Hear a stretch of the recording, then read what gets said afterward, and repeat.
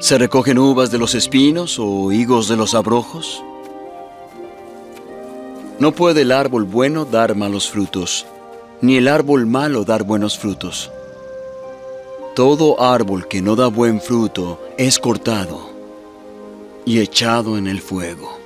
Así que por sus frutos los conoceréis.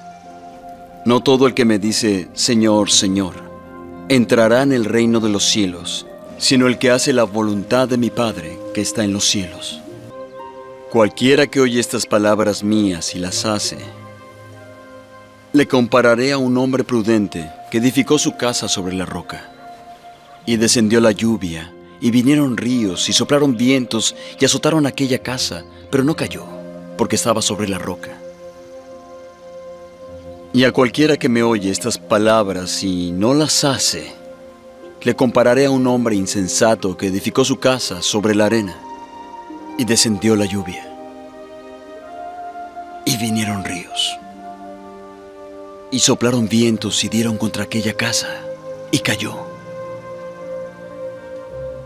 y fue grande su ruina. Palabra del Señor. No olvidemos, mis hermanos, el hombre bueno dice cosas buenas porque el bien está en su corazón que nosotros con esa actitud nos acerquemos al hermano, con la bondad que hay en nuestro corazón, y por eso que podamos hablar bien con el hermano, con mucha paz, con mucho amor. El hombre bueno dice cosas buenas porque el bien está en su corazón. No hay árbol bueno que produzca frutos malos, ni árbol malo que produzca frutos buenos. Mis queridos hermanos, ¿qué árbol somos nosotros?